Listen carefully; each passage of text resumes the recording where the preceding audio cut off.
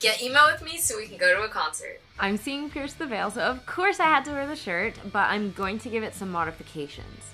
I just want it to be grazing my belly button, so it's like kind of a long crop top. So I'm cutting it one inch lower than I want it to end because it's gonna curl up a little bit since it's an unfinished edge.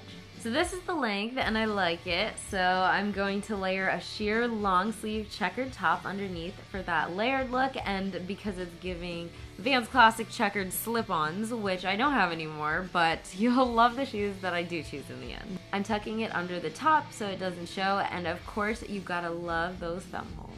Testing how this shirt looks with my arms up, looks good. Here are my nails, which should probably be black, but the concert was on the day of my birthday, and these were my birthday nails, so it was a great way to spend the day. And Pierce the Veil was actually the first concert I ever went to in my life, so it was such a full circle moment for me.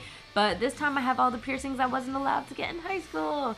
And I'm also wearing these black pants with the suspenders. I love these pants and all the pockets and sorry for the background, I just moved to this apartment but I'm working on it. I'm starting with foundation, but I'm using my shade because going way too light doesn't work for my skin tone. And then I'm using Rimmel Stay Matte powder because this is actually the powder that I used to use to get my extremely powdered face back in the day. So I'm recreating that today by using too much and pressing it in with a powder puff to really just pack it on and mattify but this is also perfect to keep my makeup in place while I'm screaming and jumping around later with all the emo girlies in the crowd that I made friends with. I'm using a powder brush to dust off the excess powder and even it out, and then I'm using the Ben Nye setting spray to keep everything in place. And I'm doing two rounds of that just in case. Next, I'm using Huda Beauty Glowish Bronzer, and do not come for me for using something with shimmer. I'm just being historically accurate because this is something like what I used back in the day by Hard Candy, and it got me through life just fine.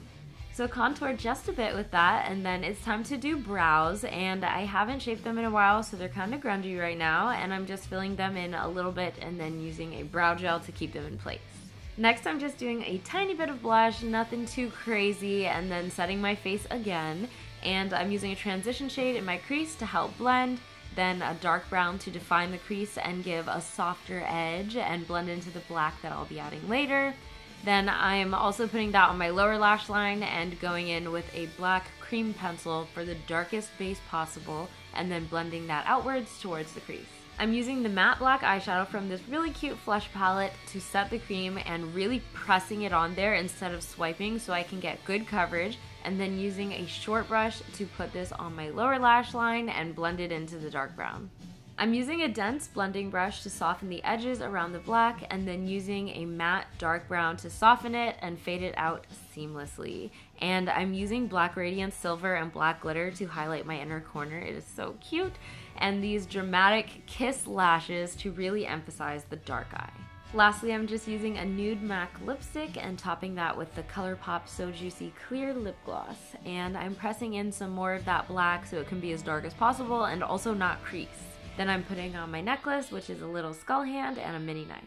For hair, I'm using the Got To Be Voluminizing Powder instead of a gallon of hairspray and aggressive teasing because believe it or not, that's actually terrible for your hair, but this stuff is crazy. A hairstylist used it on me at a shoot once and I literally ordered it online while in her chair because you just put a little powder and rub it in and it gets so grippy it goes clear and it really holds up my roots without damaging my hair. So this is my current favorite voluminizing method.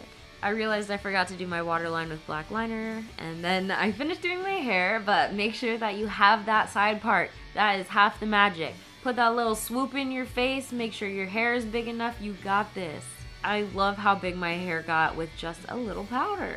So here are the shoes. They are chunky and hot and full of the right hardware. They're from Demonia and it's also nice that I got a couple inches from them so I could see better at the show. So here's the full fit. And honestly, that was such a fun throwback for me. Once emo, always emo. Thanks for watching and I will see you in the next one.